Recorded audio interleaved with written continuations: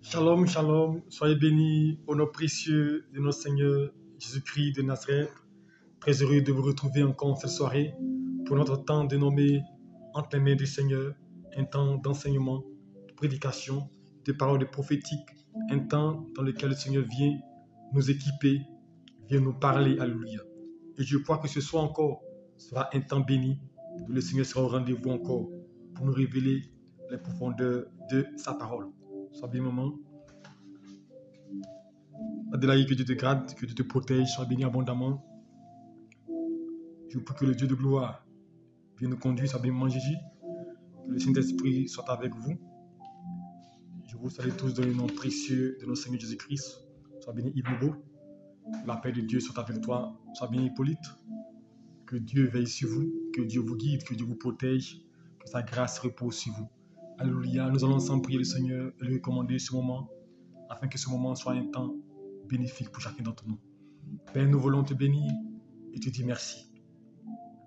Merci encore de nous faire la grâce d'être là ce soir, afin de communier ensemble. Merci de prendre le contrôle de ce moment. Viens bénir ta parole et disposer nos cœurs à l'écoute de ta parole. Je te confie chaque cœur, chaque personne entre tes mains, afin que ce moment soit un temps d'édification, un temps où tu viens nous enseigner, tu viens nous parler. Car ta parole est vie, ta parole oriente, ta parole guérit, ta parole fortifie. Car à travers cet enseignement, fortifie quelqu'un, guérit quelqu'un, préserve quelqu'un et restaure quelqu'un. Merci d'être à nos côtés. Que tout ce qui n'est pas ta gloire s'éloigne de ce moment et que ce moment soit sous ton contrôle au nom de Jésus-Christ. Amen. Que Dieu nous bénisse et que sa grâce repose sur chacun d'entre nous. Alléluia. Je vous salue tous encore dans le nom précieux de notre Seigneur Jésus-Christ de Nazareth. Et très heureux de vous retrouver en cette soirée. Alléluia. Hier, depuis la semaine, nous sommes en train d'enseigner sur Dieu est souverain. Alléluia. Il avait dit qu'aujourd'hui, on allait conclure, mais je crois que demain, on va conclure. Alléluia. Parce qu'aujourd'hui, on va traiter nos thèmes sur la souveraineté de Dieu. Hier, nous avons vu est-ce que tout vient de Dieu. Alléluia? Et que tout vient de Dieu? Nous avons dit que, comme ça, que il y a des choses que Dieu, qui viennent de Dieu, parce que tout ce que Dieu a créé est bon. Donc, ce que Dieu fait, c'est ce qui est bon, c'est ce qui vient de lui, alléluia. Et que Dieu a tout mis en œuvre pour nous. Il y a des choses que Dieu permet pour sa gloire, sur ses enfants, alléluia. Nous avons dit aussi que la Bible déclare dans Apocalypse chapitre 12, Satan est, descendu sur la terre animé d'une grande colère, alléluia, pour faire la guerre aux saints, alléluia. Donc, ça veut dire que Satan aussi crée des choses dans nos vies, il apporte des destructions, il apporte beaucoup de choses pour nous déstabiliser, alléluia. Donc tout ne vient pas de Dieu forcément, alléluia. Mais toute chose concourt au bien de ceux qui aiment Dieu, alléluia.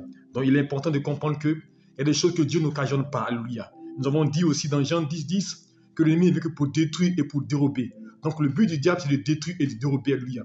Donc souvent, ce qu'on vit n'est pas forcément le fait de Dieu. Dieu permet certaines choses. Nous avons dit dans la Bible, la Bible déclare que Dieu a rendu Rachel stérile, alléluia, Rebecca stérile. Ça, ça venait de Dieu. C'est ce que Dieu permet, alléluia, pour sa gloire, pour un but, pour glorifier son nom. Mais ce qui n'est pas de Dieu vient pour te détruire, pour te déstabiliser et pour t'amener à perdre courage, alléluia. Et ce soir, nous allons voir un autre thème, alléluia. Ô éternel, je le sais, la voix de l'homme n'est pas en son pouvoir, alléluia. Sois béni, révérend, mais sans que la grâce de Dieu repose sur toi. Alléluia. Il dit, ô éternel, je le sais, la voix de l'homme n'est pas en son pouvoir, alléluia. Donc ce soir encore, nous allons encore continuer l'enseignement sur la souveraineté de Dieu à travers ce thème. Et notre passage se trouve dans Jérémie chapitre 10. Jérémie chapitre 10, et on va lire à partir du verset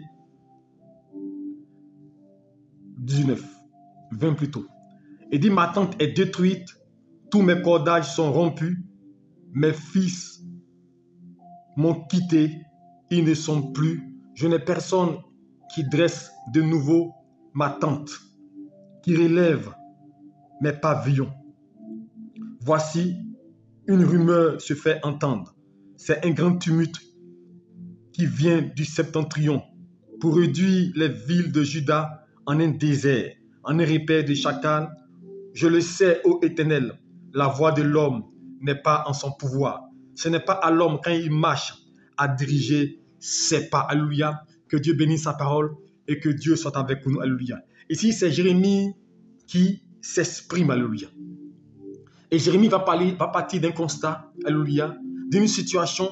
Alléluia. en révélant au, verset comme de, de haut la suprématie, la puissance de Dieu, comment Dieu est capable, comment Dieu est au-dessus. Et ensuite, il va révéler comment l'homme se confie à des idoles et, et comme ces idoles-là sont incapables d'aider et de soutenir l'homme. Alléluia.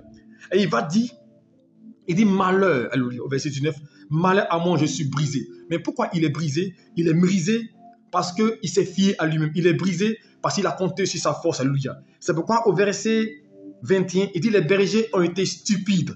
Ils n'ont pas cherché l'éternel parce que, parce que cela n'a point... C'est pourquoi ils n'ont pas prospéré. Alléluia. Ils n'ont pas cherché l'éternel. Ils sont appuyés sur les forces. Ils ont pensé qu'ils avaient la capacité, ils avaient la force de diriger les vies. Ils ont pensé que tout était en leur pouvoir. Et certains se disent, j'ai le pouvoir, alléluia. Mais ton pouvoir dépend de Dieu. Ton pouvoir est lié à Dieu. Alléluia. Et Jérémie dit, ils n'ont pas cherché l'éternel. Ils ne sont pas appuyés sur Dieu. Alléluia. Ils sont appuyés sur l'énergie. Ils sont appuyés sur les forces. Ils ont pensé qu'ils pouvaient réussir. Ils ont pensé que les projets pouvaient se manifester. Les projets pouvaient réussir d'eux-mêmes. Que d'eux-mêmes, ils pouvaient avancer. Alléluia. Mais voici qu'ils constatent que rien ne bouge. C'est le malheur, c'est la difficulté, c'est les problèmes. Alléluia.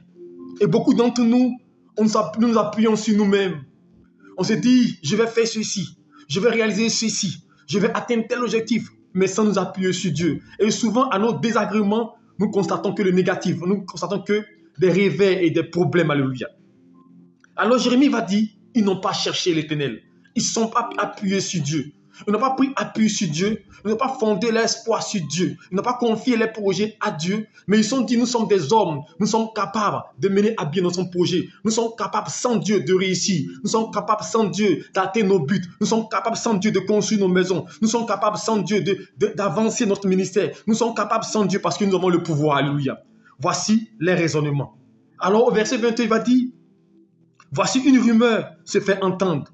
C'est un grand tumulte qui vient du septentrion du nord, pour réduire les villes de Juda au désert, en repère de chacal, alléluia. Donc la destruction va les surprendre, l'échec va les frapper, alléluia. Ils entendent beaucoup de chocs, beaucoup d'événements négatifs arriver, alléluia. Alors Jérémie va maintenant s'arrêter, il va faire un constat, il va faire une déclaration. Il dit, je le sais. Je le sais, c'est que c'est une affirmation, alléluia. C'est que ayant regardé, ayant vu le déroulé, alléluia, des événements qui sont passés, il dit je le sais. Donc il affirme, alléluia. Il n'est pas, il n'est pas en train de, douter. Alors quand on dit je le sais, c'est qu'on est certain, c'est qu'on est sûr. Il dit je le sais. Ô éternel, la voix de l'homme n'est pas en son pouvoir. Retiens ça.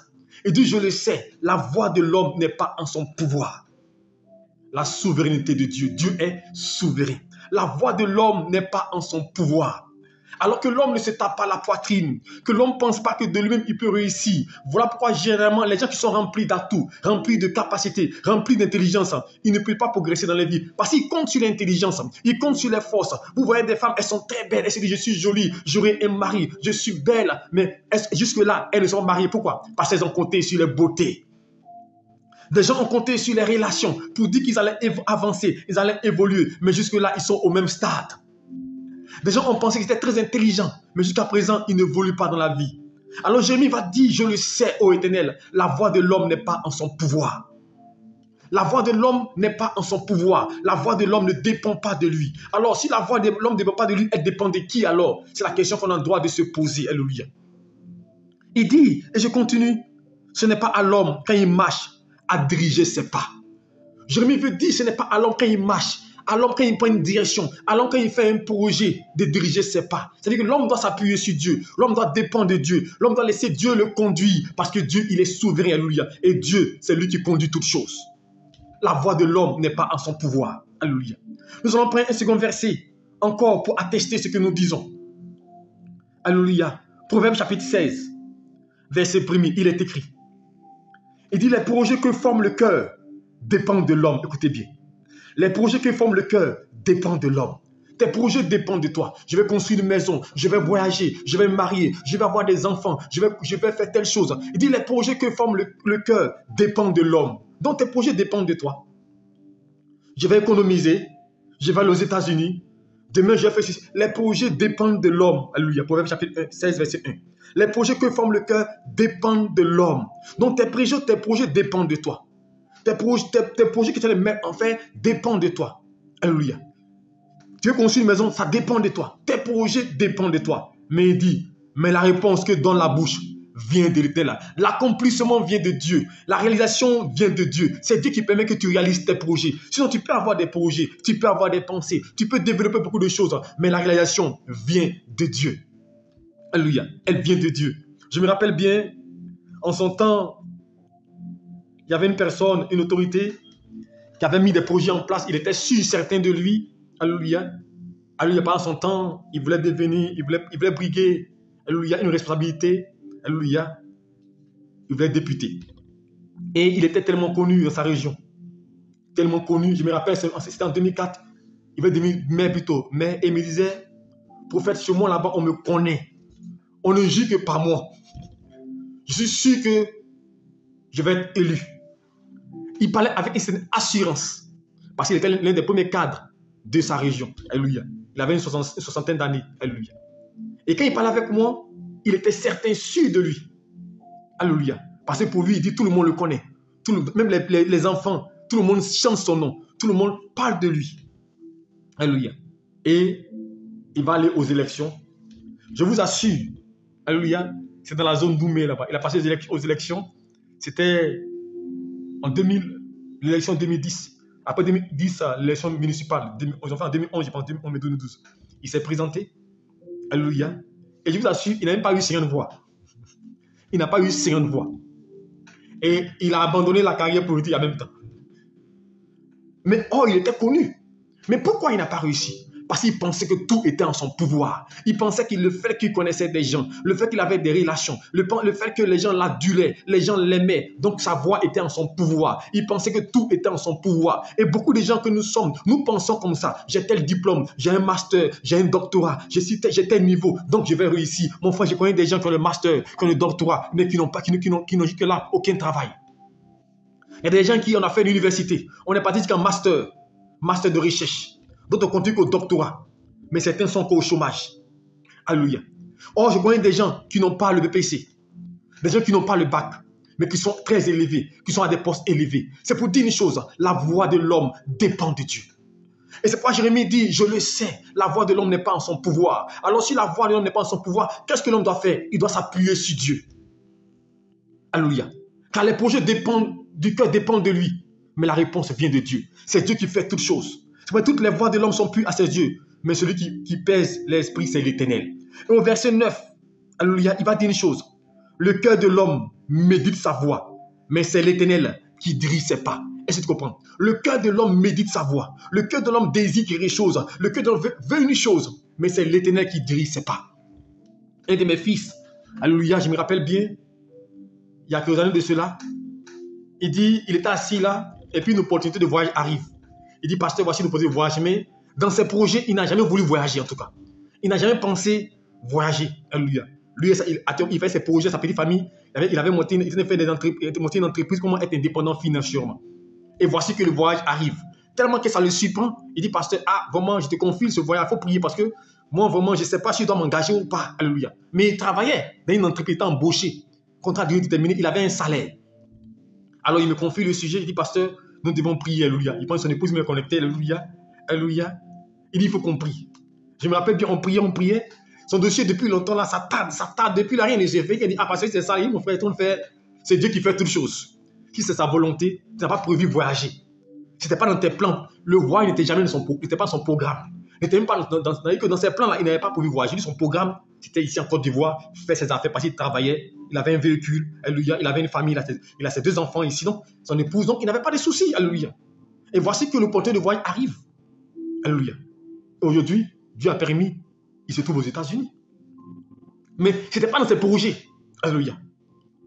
Mais la Bible déclare la voix de l'homme n'est pas en son pouvoir. Aujourd'hui, il est, là-bas. Et Dieu fait grâce, il a eu un travail.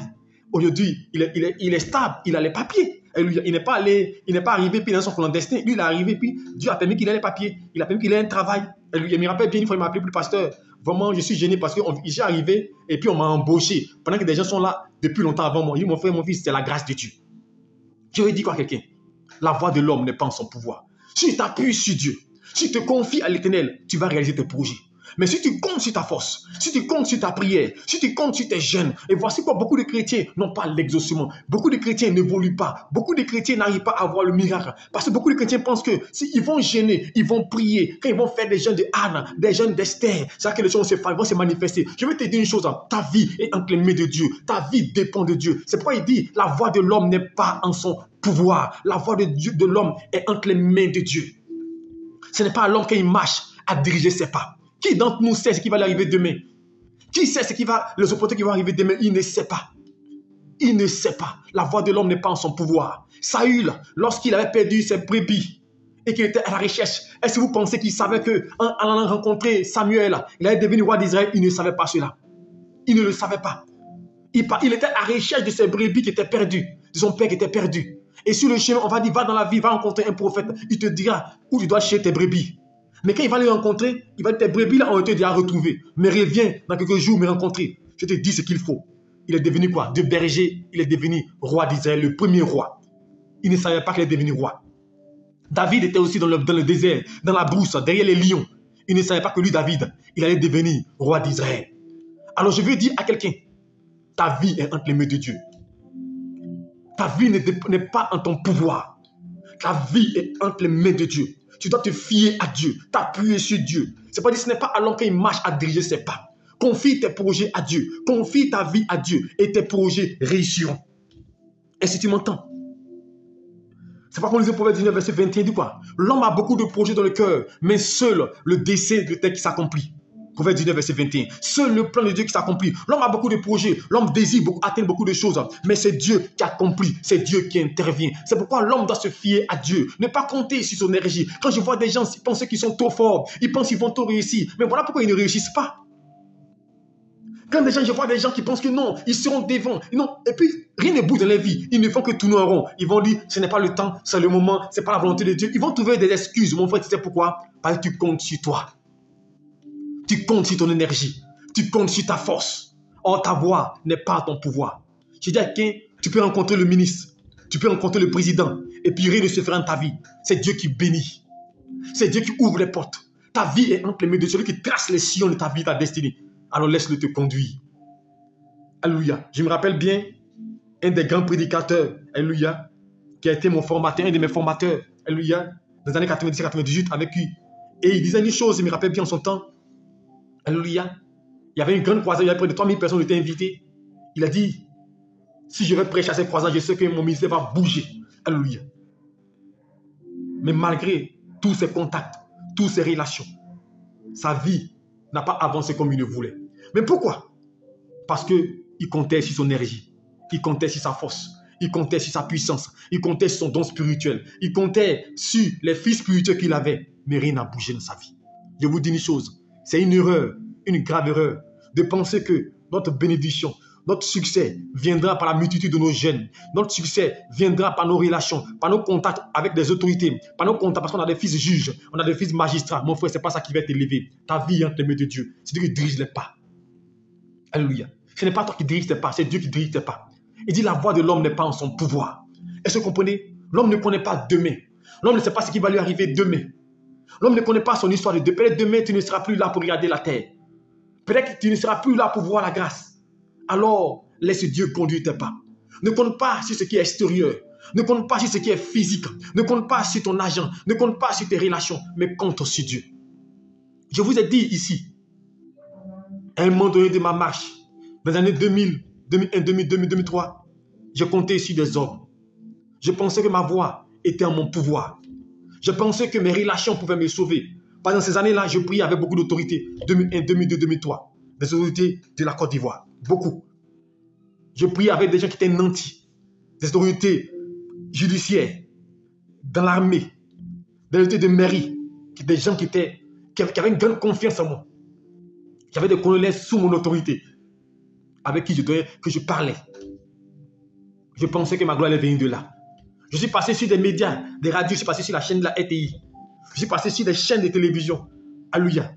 On pensait que ma gloire, la gloire, vient de ma force, de mon énergie, de ma capacité, de ce que je suis fort, je suis connu. Mais rien de tout ça ne s'est fait. Alors j'ai compris une chose.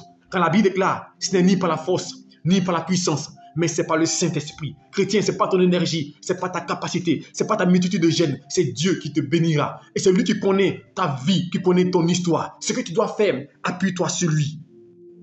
Et regarde à lui seul, car tout dépend de lui. Alléluia. C'est pour la Bible déclare. Dans le proverbe 16, on dit, la voix de l'homme médite sa voix, mais c'est Dieu qui dirige ses pas. C'est Dieu qui va te diriger dans la bonne direction. C'est pas David dit, l'éternel est mon berger, je ne manquerai de rien. Il me conduit vers de verts pâturages. C'est Dieu qui me conduit vers de verts pâturages. Il te conduira dans la bonne direction. Celui qui va créer des opportunités pour toi. Il va créer des ouvertures pour toi.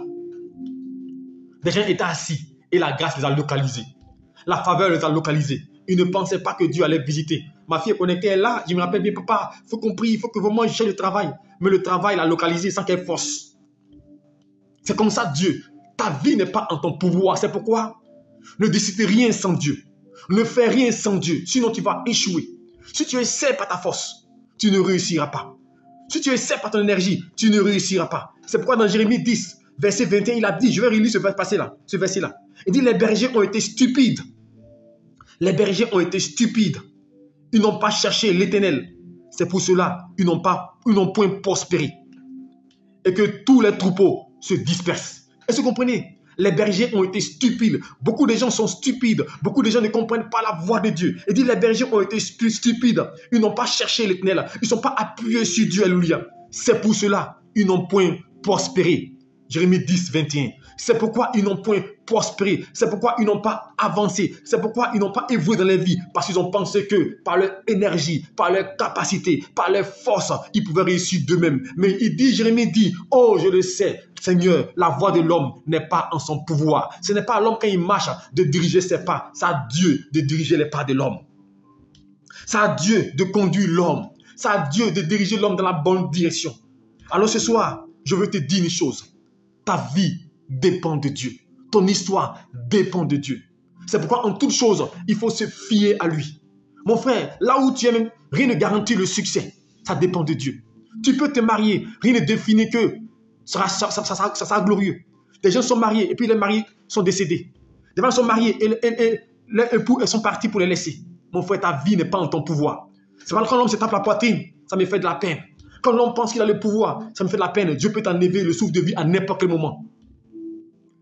Tu peux profiter d'immeubles et ça s'écoule. On a vu des gens, les immeubles sont écoulés. La voix de l'homme n'est pas en son pouvoir. Alléluia. Voici aujourd'hui des gens, des travaux de pour moderniser la Côte d'Ivoire, a détruit, a détruit les maisons. Les gens qui étaient propriétaires des maisons aujourd'hui, les maisons ont été détruites. Mon frère, tu ne connais pas à quel moment tout peut chambrer dans ta vie, tout peut s'écouler. Alors arrête de penser que tu es fort, arrête de penser que tu es capable, arrête de penser que non, tu es au-dessus de tout. Non, c'est Dieu qui est le maître. Des gens ont tout perdu. Des gens qui avaient tout à la disposition, ils sont retrouvés à commencer à revenir en arrière. Ta vie dépend de Dieu. Alors appuie-toi sur l'éternel des armées, car ta voix n'est pas en ton pouvoir. C'est pour la Bible déclare, Romains chapitre 7, Paul dit, dans ma chair j'ai la volonté, non le pouvoir de faire le bien. Lui qui donne le pouvoir de faire le bien, c'est l'éternel. C'est Dieu qui qualifie, c'est Dieu qui équipe, c'est Dieu qui éclaire. Alors ta décision, même ta décision est sous la puissance de Dieu, sous le contrôle divin. Mais le fait de décider, c'est Dieu qui t'inspire, car il crée en nous le vouloir et le faire. C'est lui qui crée en nous le vouloir et le faire. Ce n'est pas ta volonté, c'est Dieu qui te donne la force. C'est pourquoi tu dois t'appuyer sur lui. Si tu penses que tu peux réussir seul, tu n'arriveras pas. Tu vas tourner en rond, mais tu comprendras que ta vie ne peut pas avancer sans Dieu. Des gens ont essayé en pensant réussir. Ils sont au même stade. Les vies ne décollent pas. Les vies ne bougent pas. Et souvent, tu vas accuser les sorciers, tu vas accuser les démons, tu vas accuser toutes sortes de choses. Mais je vais te dire une chose, c'est Dieu qui est le maître des temps et des circonstances. C'est pour la Bible déclare dans la mention 3, 37, quand tu a lu hier, avant-hier, il dit, est-ce qu'une chose arrive sans que Dieu ne l'ait ordonné? Alléluia. Il crée, il crée les biens, il crée les mots. Et dans Romains chapitre 9, qu'on a lu aussi lundi, il est le potier, nous sommes l'argile. Alléluia. Pourquoi l'argile pourrait dire au potier, pourquoi m'as-tu fait ainsi? Ta vie est entre les mains de Dieu. Laisse Dieu te manier comme il le veut, te conduire où il faut, parce que lui, sait ce qui est bon pour toi. Il sait ce qui est meilleur pour toi.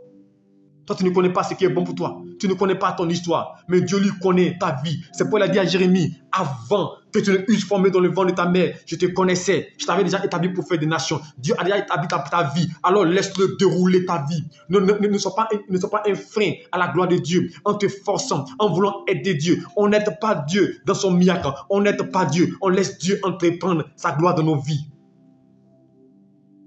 On n'ajoute pas, alléluia, à l'œuvre de Dieu. Alors je veux t'interpeller ce soir. Parce que beaucoup se posent la question de savoir pourquoi je sais, je ne vois pas? Parce que tu t'appuies sur toi. Et moi, à un moment donné, je me suis appuyé sur mon gène. Parce que je vous dis, jeûner, nous, c'est amusement.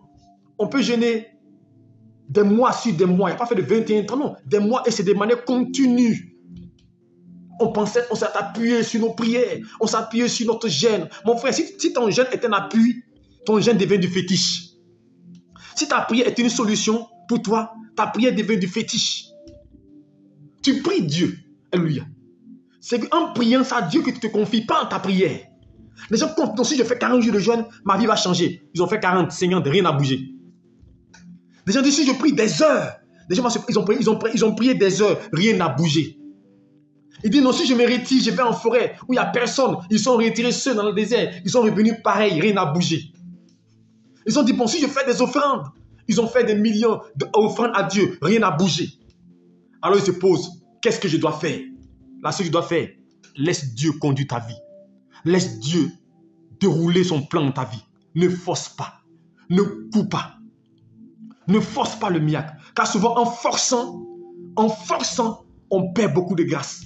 En forçant, on meurt sur le chemin. Des femmes ont forcé le mariage. Aujourd'hui, elles souffrent et puis accuse Dieu. Mais il pourrait, il pourrait mon frère, je vous dis une chose. Hein. C'est pas tout que Dieu vient de Dieu. Souvent, lorsque nous laissons l'échec, nous, nous prenons des décisions, des mauvaises décisions, cela ouvre des portes de nos vies. Cela ouvre des, des, choses de nos vies. Parce que Satan aussi tourne. Il, il, tourne là pour te détruire.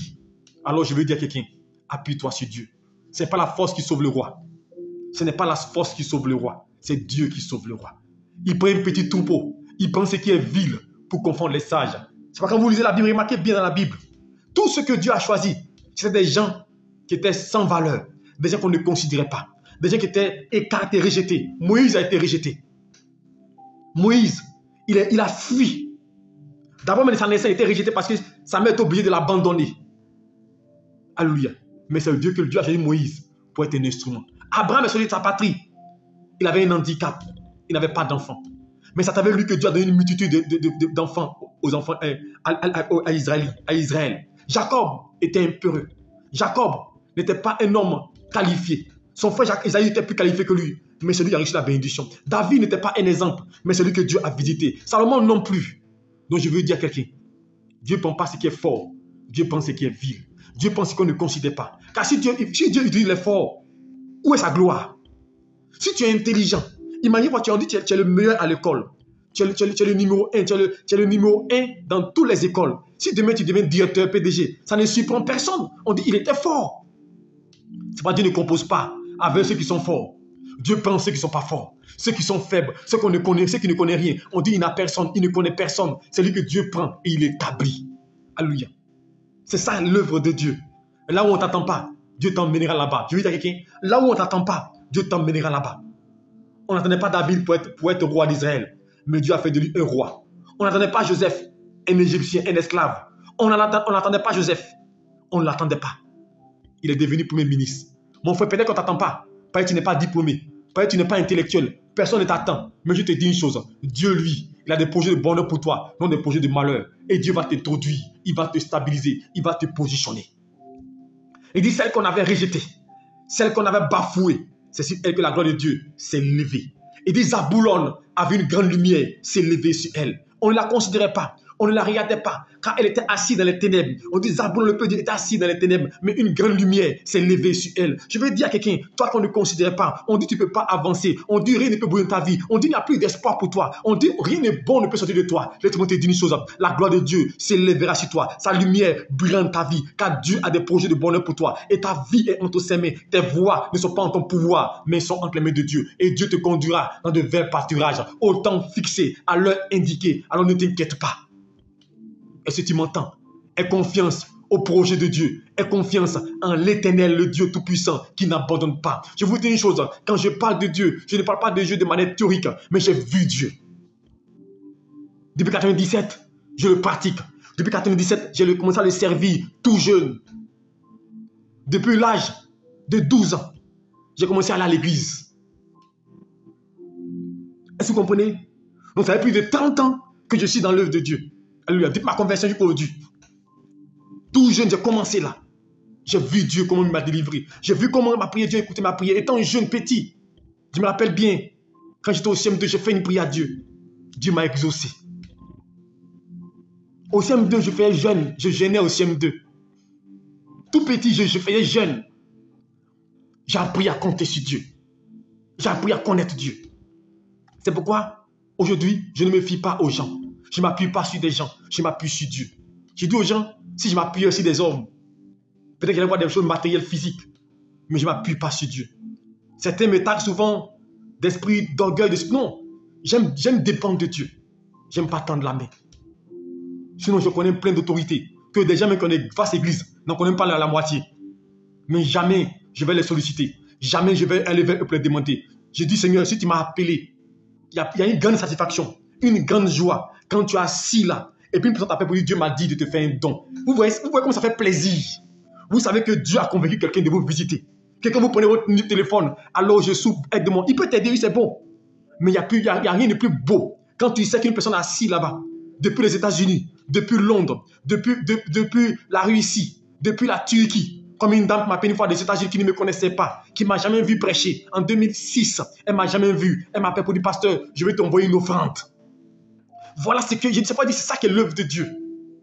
Sans que tu ne forces, sans que tu ne tu, tu quelqu'un, sans que tu n'aies à, demander quelque chose à quelqu'un. Mais Dieu te montre qu'il est avec toi. Et c'est ce que je veux amener les gens à comprendre. On n'a pas besoin de forcer, de cadrer des messages, de pousser des messages pour escroquer des gens, mon frère. Si tu fais la volonté de Dieu, si tu parles de Dieu, si tu cries à l'éternel, si tu cherches la foi de Dieu, tu n'as pas besoin de forcer. Dieu va te poursuivre avec ta grâce. Et moi, c'est l'objet de ma vie. Ce que je dis, c'est ce que je fais. Ce que je prêche, c'est ce que je vis. Il n'y a pas quelqu'un en Côte d'Ivoire, plus de 20 ans, plus de 20 ans que je suis pasteur, qui peut dire le prophète qu'avant m'a appelé pour dire donne-moi l'argent. Jamais. Personne ne peut le dire. Sur les radios, sur les télévisions, quand je suis là, je parle. Il n'y a pas quelqu'un qui peut le dire. Pourquoi? Pas parce que je n'ai pas besoin, j'ai des besoins. Souvent, je manque de 5 000. Souvent, je manque de 10 000. Mais je me dis une chose.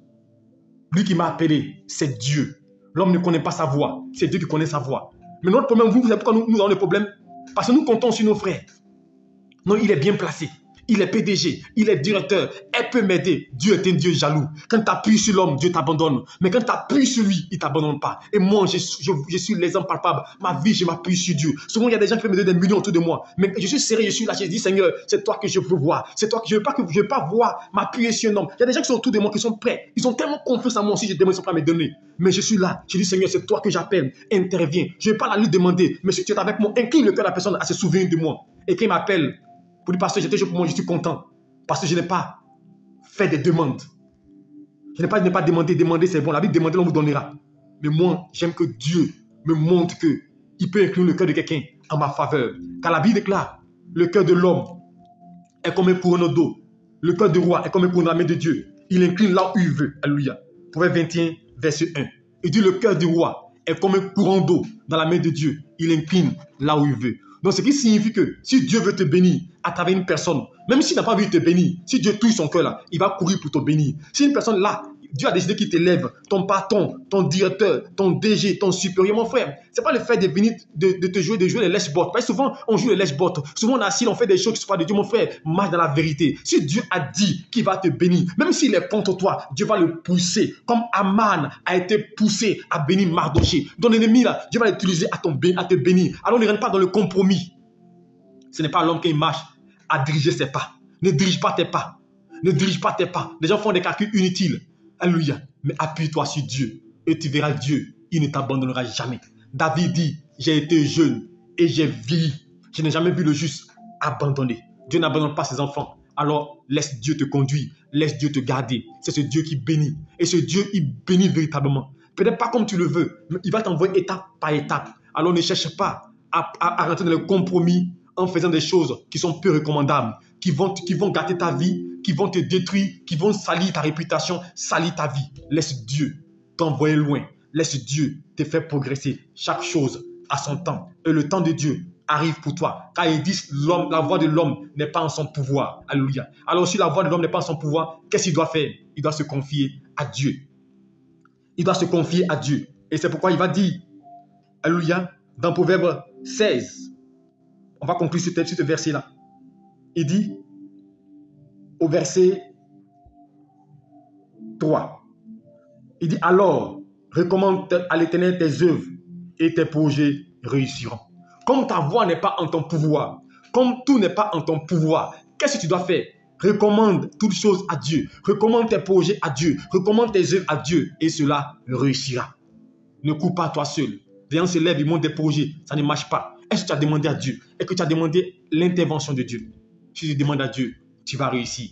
Que Dieu te bénisse. Que sa grâce repose sur toi. Voilà le message de ce soir. Alléluia. Je vais m'arrêter là. Demain, nous allons conclure. J'ai voulu qu'on nous conclue aujourd'hui. Mais Dieu voulait que je change ce message. Alléluia. Demain, on va conclure notre message. Alléluia. À commencer par lundi, on va conclure totalement. Dieu te bénisse. Qui te fortifie. Appuie-toi sur Dieu. Tu réussiras, mon frère.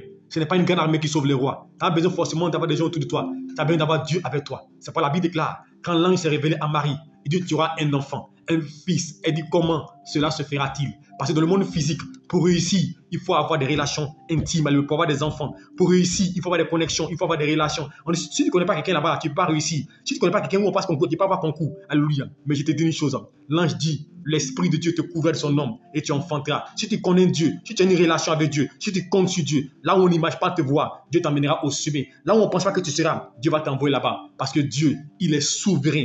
Il est souverain. Il est le maître. Il est le potier. Il est Et ses plans pour nous sont meilleurs. Ses plans pour nous sont glorieux. Satan peut tourner. Il peut nous faire la guerre. Mais le plan de Dieu s'accomplira. Car personne ne peut déjouer le plan de Dieu. C'est toi, c'est toi qui peux déjouer ton plan, le plan de Dieu. Si tu refuses, sa volonté, en voulant faire ta volonté. Que Dieu te bénisse.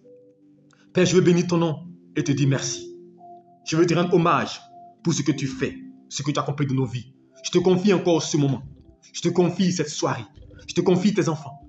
Père, Jérémie dit, Oh éternel, je le sais, la voix de l'homme n'est pas en son pouvoir. Ma voix n'est pas en mon pouvoir. Dans ma chair, j'ai la volonté, non le pouvoir de faire le bien.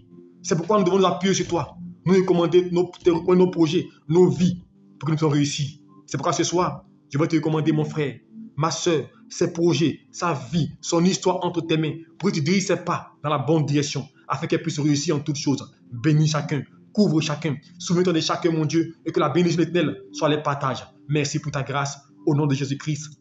Amen. Que Dieu vous bénisse, que sa grâce vous accompagne. Shalom à vous tous. Je vous souhaite une bonne nuit, alléluia, sous la puissance de Dieu. J'aime qu'à mon numéro, c'est le 0702 82 77 96, précédé de, de plus de 225 si tu es à l'extérieur. 0702 82 77 96. Shalom à vous. Demain, 5h30, nous serons rendez-vous pour prier matinale. Alléluia. Car c'est le, dernier jour de la semaine. Fais l'effort d'être là. Nous allons prier encore demain, demander la grâce de Dieu. Et demain, 20h30, nous serons là encore pour conclure notre enseignement. Shalom à vous et bonne nuit sous la puissance de cet esprit.